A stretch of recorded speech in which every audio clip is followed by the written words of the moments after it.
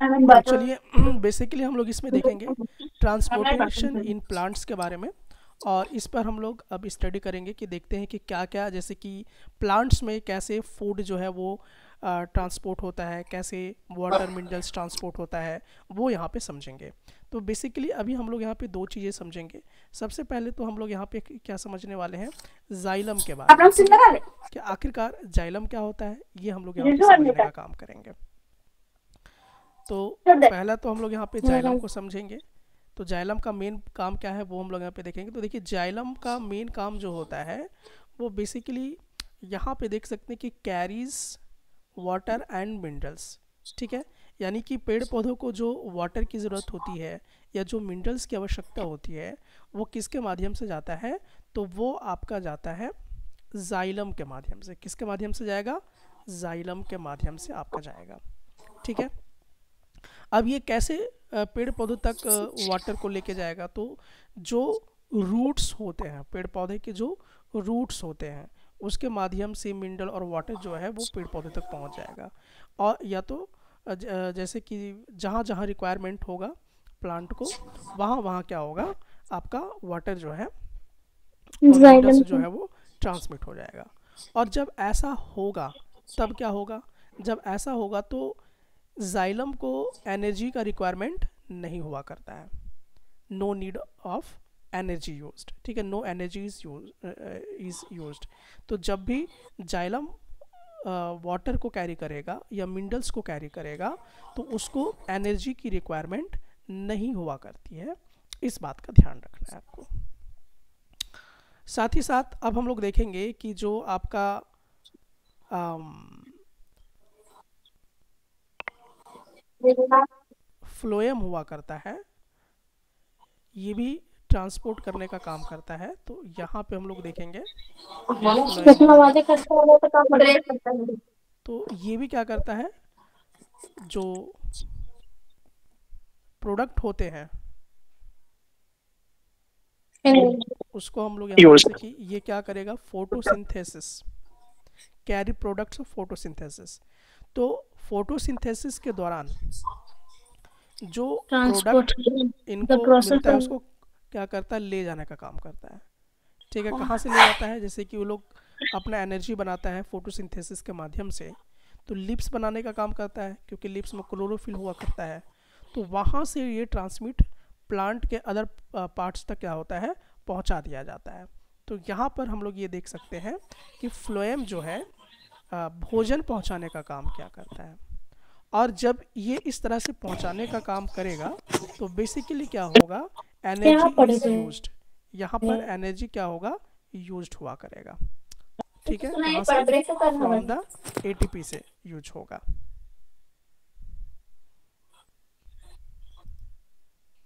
सो so, अब हम लोग यहाँ पे बेसिकली क्या देखेंगे?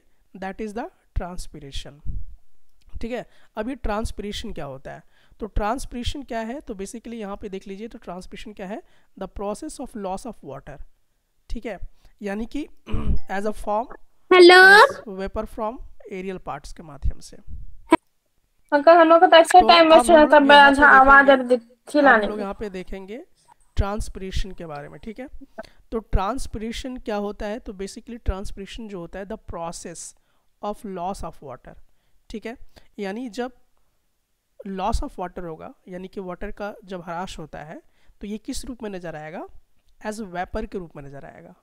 और ये प्लांट का एरियल पार्ट से होगा। जैसे पत्ता जो होता है, वहाँ पे आप देखिएगा कि पानी जो है, उसके माध्यम से लॉस होता है।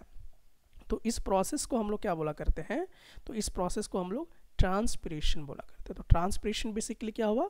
The process of loss of water यानी कि जब वाटर लॉस होगा वेपर के फॉर्म में आप देखेंगे, खासकर लिप्स वगैरह के माध्यम से होगा लिप्स ठीक है? यानी पत्तों के माध्यम से होगा। तो इसको हम लोग ट्रांसपीरेशन बोला करेंगे। अब बेसिकली इसमें हम लोग क्या देखने वाले हैं? तो बेसिकली अब हम लोग इसमें देखेंगे फ़ंक्शन के बारे में। ठीक है? तो फ़ंक्शन क्या होता है? अब इसके बारे में हम लोग यहाँ पे देखेंगे। और यहाँ पे देखिए एब्जॉर्प्शन ठीक है? Absorption and upward movement of water and minerals by creating pull तो ट्रांसपरेशन से क्या फ़ायदा होता है? तो ट्रांसपिरेशन से ये फ़ायदा होता है कि आपका जो वाटर होता है या जो मिनरल्स होता है, ठीक है, ये ऊपर की तरफ़ क्या करता है? प्लांट तक पहुँचाने का काम करता है, ठीक है? तो जिसे वाटर का ज़रूरत है या मिनरल्स तो वो तो जड़ में है रूट्स में है तो रूट से लेकर लिफ को ज़रूरत अगर हुआ, तना को ज़रूरत हुआ तो वो ऊपर ले जाने का काम मतलब कि पुल करने का काम, इसका ट्रांसपरेशन प्रोसेस से हुआ करता है। ठीक है? ये हम लोग यहाँ पे देख रहे हैं। अब दूसरा बात अगर हम लोग यहाँ पे करें तो helps in temperature regulation in plant और क्या होता है ट्रांसपरेशन से? तो ट्रांसपरेशन से ये फ़ायदा होता है कि ये क्या फ़ायदा करता है कि टेम्परेचर को रेगुलेट करता है। प्लांट का जो टेम्परेचर ज़्यादा ठंडा भी ना हो, ज़्यादा गर्म भी ना हो तो उसको रेगुलेट करने का काम जो है, वो आपका बेसिकली कौन करेगा? तो बेसिकली आपका ट्रांसपरेशन जो है, ये किया करेगा। ठीक है? तो ये ट्रांसपरेशन के फ़ंक्शन हो गए। साथ ही साथ, अब हम लोग यहाँ पे एक नया चीज़ देखने वाले हैं, और वो क्या चीज़ है? तो चलिए इसको भी हम लोग यहाँ पे देख लेते हैं। दैट इज़ ट्रांसलोकेशन केस को हम लोग बोले करेंगे। ट्रांसलोकेशन तो ट्रांसलोकेशन हम उसको बोलेंगे कि ट्रांसपोर्ट ऑफ़ फ़ूड क्या करना पड़ेगा? ट्रांसपोर्ट ऑफ़ फ़ूड तो जब फ़ूड को ट्रांसपोर्ट करना पड़ता है फ्रॉम लीप्स से। ठीक है? तो अगर ट्रांसपोर्ट ऑफ़ फ़ूड करना हो लीव्स के माध्यम से, ठीक है? तो उसको हम लोग क्या बोलते हैं? ट्रांस लोकेशन कहते हैं। तो ये दोनों चीज़ आपको समझ में आना चाहिए। क्या क्या चीज़ें समझ में आनी चाहिए? पहला चीज़ तो आपको ये समझ में आना चाहिए कि ट्रांसपरेशन क्या है? Loss of water. ठीक है? और इसका काम ये होता है कि जो ज़मीन से, रूट से ये लेता है वाटर को या मिनरल्स को तो उसको ऊपर की तरफ़ खींचने का काम करता है। ठीक है? प्लस टेम्परेचर को रेगुलेट करने का काम क्या करता है? टेम्परेचर को क्या करेगा? रेगुलेशन करने का काम करता है, ठीक है? साथ ही साथ अगर हम देखें कि यहाँ पर एक दूसरा हम लोगों के पास है दैट इज़ द ट्रांसलोकेशन तो ट्रांसलोकेशन करने के लिए भी क्या है? हम लोगों को यहाँ पे देख सकते हैं कि ट्रांसलोकेशन यानी कि फ़ूड को ट्रांसपोर्ट करने के लिए जो प्रोसेस है that is known as the translocation तो ये सब समझ में आ गया कि जाइलम से क्या क्या ले जाया जा सकता है? फ्लोएम से क्या क्या ले जाया जा सकता है? ठीक है? ट्रांसपरेशन और ट्रांसलोकेशन दोनों का डिफरेंस आपको समझ में आ गया होगा। तो बेसिकली ये सब चीज़ें हम लोगों ने इस टॉपिक के अंदर देखा। अब हम लोग आते हैं नेक्स्ट की तरफ़।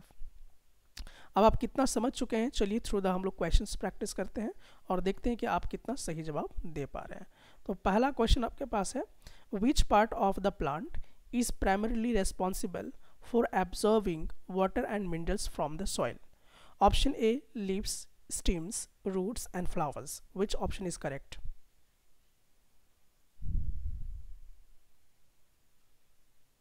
जल्दी बताएँ।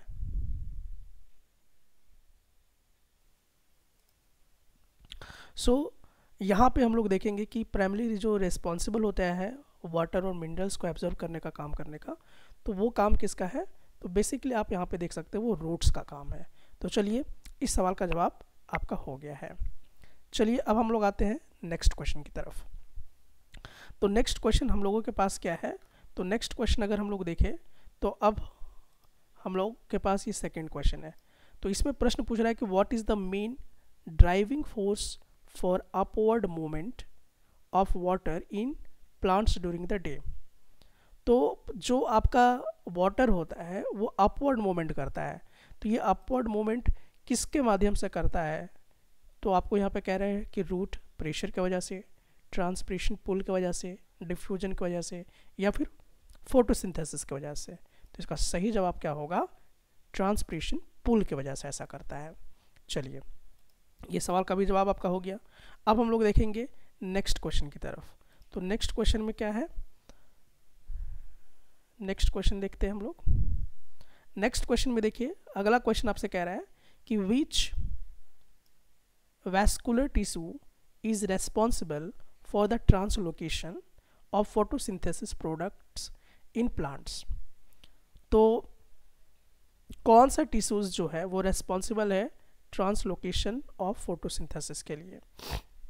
ऑप्शन है जाइलम फ्लोएम ट्राइकाइट्स या स्टोमाटा तो इसका सही जवाब होगा फ्लोएम यानी कि ऑप्शन बी जो है वो आपका करेक्ट जवाब है।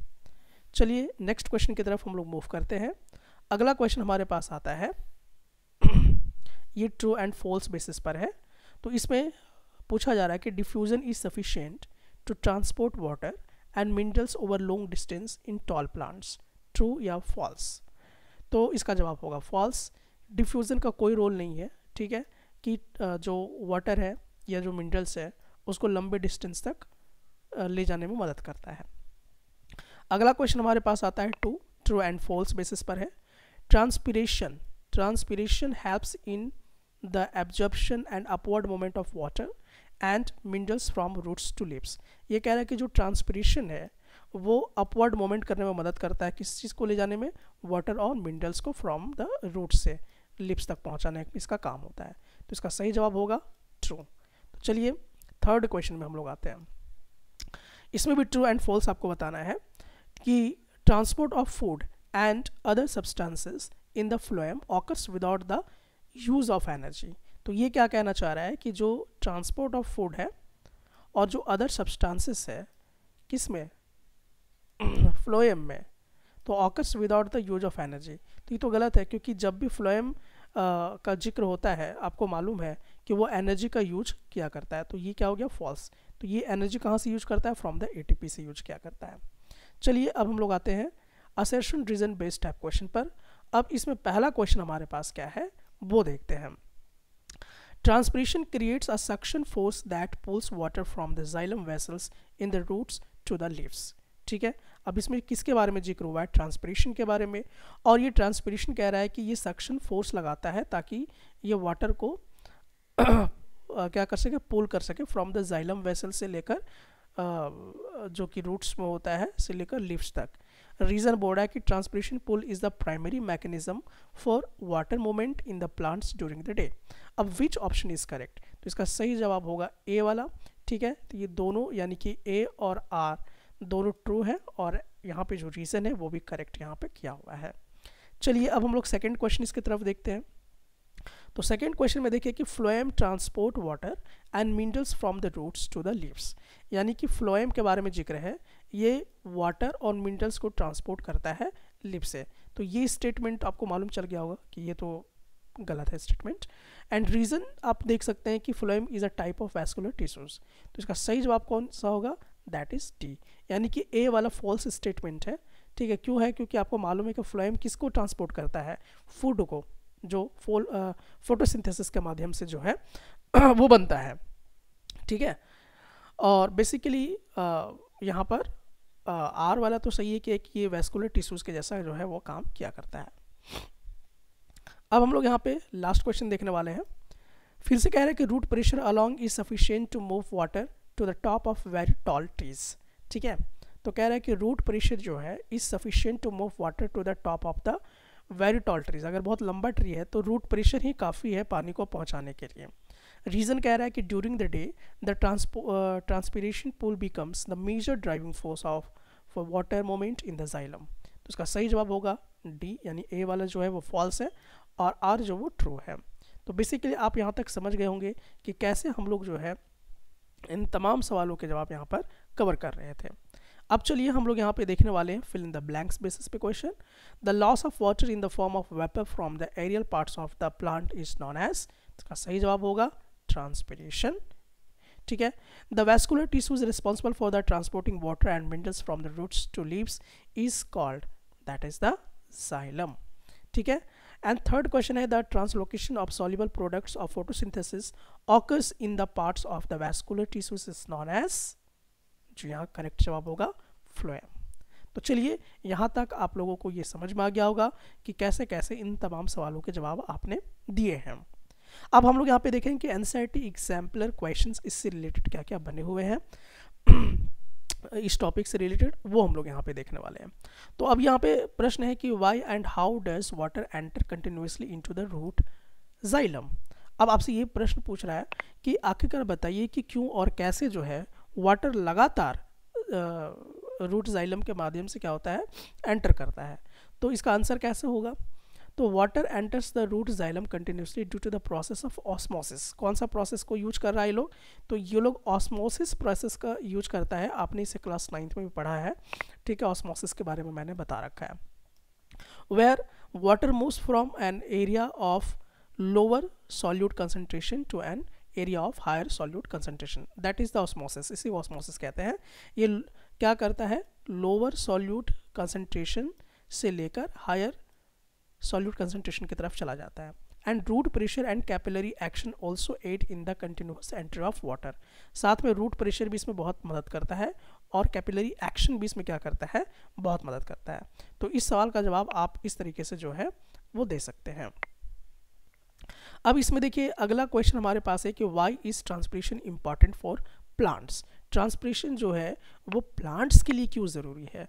तो इसका आंसर क्या होगा कि transpiration is important for plants because it helps in the absorption and upward moment of water and minerals from roots to leaves maintains the temperature of the plant and facilitates the exchange of gases तो ये exchange of gases करने में मदद करता है temperature को भी maintain करता है और अपवर्ड मोमेंट ऑफ़ वाटर भी और मिनरल्स किया करता है। इसलिए इसका एक यहाँ पे बहुत जो है इंपॉर्टेंट रोल है, वो देखने को मिलता है। अगला सवाल हमारे पास है कि describe the transport of water and minerals in plants अब आपको इसमें क्या करना है कि ट्रांसपोर्ट ऑफ़ वाटर और मिनरल्स प्लांट में कैसे ट्रांसपोर्ट होते हैं, उसको डिस्क्राइब करना है। तो इसमें हम लोग देखेंगे कि water and minerals are absorbed by roots hair एक पॉइंट यहाँ पर हो गया। From the soil and move across the root cortex to the xylem vessels ठीक है? And they are then transported upward through the xylem vessels to the various parts of the plant तो यहाँ पे दूसरा पॉइंट में आपने किसका ज़िक्र किया है? जाइलम का ज़िक्र किया है। This moment is driven by roots pressure root pressure का भी आपने ज़िक्र कर दिया कैपिलरी एक्शन का भी कर लिया और ट्रांसपरेशन पुल का भी कर लिया। तो ये आपको मिनरल और वाटर को कैसे ट्रांसपोर्ट करता है, उसके बारे में ज़िक्र है। अगला सवाल हमारे पास आता है कि explain the transport of food and other substances in plants आपको एक्सप्लेन करना है कि जो फ़ूड है वो कैसे ट्रांसपोर्ट होता है और अदर सब्सटेंसेस प्लांट में कैसे होता है। तो द ट्रांसपोर्ट ऑफ़ फ़ूड या शुगर के रूप में जो दिखाई देता है and other substances occur through the phloem किसके माध्यम से जाएगा? फ्लोएम के माध्यम से जाएगा। और इस प्रोसेस को हम लोग क्या बोलते हैं? ट्रांसलोकेशन कहा करते हैं।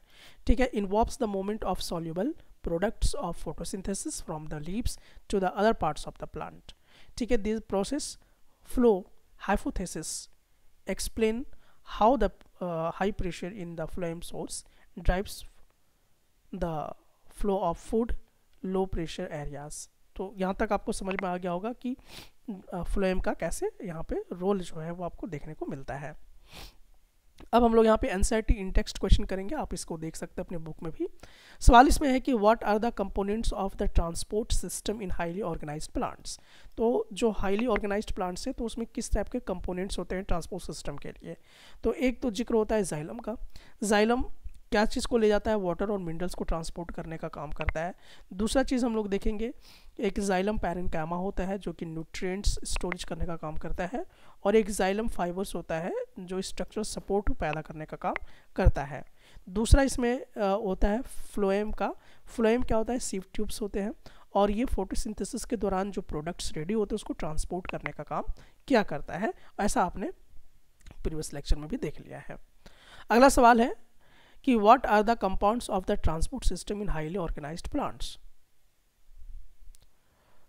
same question हो गया है तो आप इसको इग्नोर कर सकते हैं, ठीक है? तो यहाँ पर और भी इसी सवाल का जवाब है दैट इज़ द रूट्स भी है लिप्स का भी बहुत बड़ा रोल है, ठीक है? स्टीम्स का भी बहुत बड़ा रोल है इसमें। ठीक है? तो ये सब पॉइंट्स आपको समझ में आ गए होंगे। और क्या पॉइंट्स इसमें इंक्लूड किए जा सकते हैं? और रूट एब्जॉर्प्शन का काम होता है रूट प्रेशर जो है वो बनता है। इसके माध्यम से जो है वो ट्रांसपोर्ट करने का काम किया करता है। और क्या पॉइंट होंगे? Capillary action water molecules stick together and to the walls of the xylem vessels ठीक है? तो जाइलम वेसल्स के माध्यम से क्या होता है? अपवर्ड मूवमेंट करता है आपका। That is the capillary reaction को बोलते हैं और ट्रांसपरेशन पुल भी होता है। ठीक है? इवापोरेशन हो जाता है वाटर का, जिसमें ये क्या होता है? लॉस ऑफ़ वाटर करता है। ठीक है? तो इस तरीके से क्या होता है? आपने यहाँ पे देख लिया कि किस प्रकार से ये ट्रांसपोर्ट सिस्टम वर्क करती है। अगला सवाल है एन का ही how is food transported in plants अब फ़ूड कैसे ट्रांसपोर्टेड होता है प्लांट में? सिंपल वही है सोर्स ऑफ़ सिंक का इस्तेमाल होता है। सोर्स का होता है leaves where the photosynthesis produced glucose हम लोगों को मालूम है कि लिप्स जो है फोटोसिंथेसिस करने का काम किया करता है। और ये क्या करता है कि जो भी फ़ूड होता है उसको सक्रोज में कन्वर्ट करके उसको ट्रांसपोर्ट करने का काम करता है। अगला है आपके पास sink the parts of the plant that need energy to और store food such as roots food seeds and growing regions इसको हम लोग सिंक बोला करते हैं। ठीक है? और नेक्स्ट अगर हम लोग बात इसमें करें तो इसमें देखिए फिर फ्लोएम स्ट्रक्चर को तो फ्लोएम स्ट्रक्चर में हम लोग देखते हैं सीव ट्यूब्स होता है, जो लंबा होता है ट्यूब लाइक स्ट्रक्चर इसका होता है और ये ट्रांसपोर्ट करता है फ़ूड को। और एक होता है कैंपनियन सेल्स जो haves in loading and unloading the sugars into the sieve tube तो बेसिकली ये था कि फ़ूड को ट्रांसपोर्ट कैसे किया जाता है, ठीक है? और भी इसमें आप ज़िक्र कर सकते हैं ऑस्मोटिक प्रेशर कैसे बनाता है, या तो फिर आप पूरा प्रॉपरली क्या है कि आप फ्लोएम को जो है अच्छे से एक्सप्लेन कर सकते हैं। अब इसमें एन एक्सरसाइज का एक ऑब्जेक्टिव क्वेश्चन है और बहुत ही ईजी क्वेश्चन है आई थिंक आप इसको बना भी लेंगे। The xylem in the plants are responsible for xylem plants में जो होते हैं, वो किस चीज़ के लिए रिस्पॉन्सिबल होते हैं? तो इस सवाल का जवाब आपको अच्छे से मालूम है। दैट इज़ इसका सही जवाब क्या होगा? ट्रांसपोर्ट ऑफ़ वाटर ठीक है? यानी कि ए वाला जो है, ये सही जवाब होगा। चलिए अब हम लोग आते हैं नेक्स्ट की तरफ़। नेक्स्ट क्वेश्चन हमारे पास है कि what are the differences between the transport of materials in xylem and phloem यानी कि आपको बताना है कि ट्रांसपोर्टेशन ऑफ़ मटेरियल जो जाइलम और फ्लोएम में ट्रांसपोर्ट होता है, उन दोनों में डिफरेंसेस क्या है? तो इस सवाल का जवाब आप बहुत ही अच्छे ढंग से दे सकते हैं। बेसिकली क्योंकि मैंने आपको यहाँ पे बता तो आप डिफरेंसेस में यहाँ पर ये जो है वो ज़िक्र कर सकते हैं। दैट इज़ क्या क्या आपको यहाँ पे ज़िक्र करना है? तो आप यहाँ पे जाइलम एक साइड में इस तरह से लिख सकते हैं। दूसरे साइड में आप फ्लोएम लिख सकते हैं और दोनों का आप यहाँ पे डिफरेंसेस देख रहे हैं कि दो पॉइंट में यहाँ पर कवर किया हुआ है और दो पॉइंट में यहाँ पे डिफरेंसेस क्रिएट किया हुआ है। आई थिंक इतना क्वेश्चन सफिशियंट है इस टॉपिक के लिए और आप यहाँ पे बहुत कुछ सीख चुके होंगे और आप ये भी देख चुके होंगे कि बोर्ड एग्ज़ाम्स में किस तरह के प्रश्न आपसे पूछे जा सकते हैं। तो आपके लिए अब ये कि इसको आप दोबारा देखिए और प्रैक्टिस कीजिए।